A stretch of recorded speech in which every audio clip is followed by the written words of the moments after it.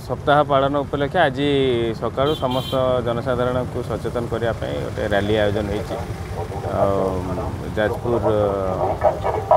ରେ ଯେଉଁ ଦୁର୍ନୀତି ନିବାରଣ ବିଭାଗ କାର୍ଯ୍ୟାଳୟ ଅଛି ଡିଏସ୍ପି ଏବଂ ତାଙ୍କ ସମସ୍ତ ସହକର୍ମୀ ତାଙ୍କର ସମସ୍ତ କ- ଦୁର୍ନୀତି ନିବାରଣ ବିଭାଗର ଜନ- ସମସ୍ତ କର୍ମକର୍ତ୍ତାଙ୍କ ସହଯୋଗରେ ଆଜି ରାଲିଟା ଆୟୋଜନ ହେଇଛି ସେ ରାଲିରେ ସମସ୍ତେ ଯୋଗଦାନ କରି ସମସ୍ତ ଜନସାଧାରଣଙ୍କୁ ସଚେତନ କରିବାର ଉଦ୍ଦେଶ୍ୟ ନେଇ ସହର ପରିକ୍ରମା କରାଯିବ। ଏହି ସପ୍ତାହ ବ୍ୟାପୀ ସମସ୍ତଙ୍କୁ ଜନଜାଗରଣ ପାଇଁ ସନ୍ଦେଶ ଦେବା ପାଇଁ ଉଦ୍ଦେଶ୍ୟ ନେଇକରି ରାଲି ଚାଲିଛି। ଆଗାମୀ ଦୁଇ ତାରିଖରେ ଦୁର୍ନୀତି ନିବାରଣ ସପ୍ତାହର ଶେଷ କାର୍ଯ୍ୟକ୍ରମ ଅଛି। ତେଣୁ ଆମେ ଆଶା କରିବୁ ଜନସାଧାରଣ ସଚେତନ ରହିବେ। ଦୁର୍ନୀତିମୁକ୍ତ ସରକାର ରେ ତାଙ୍କର ଯେଉଁ ଭାଗିଦାରୀ ଅଛି ସେ ତାକୁ ମଧ୍ୟ ସାବ୍ୟସ୍ତ କରିବେ।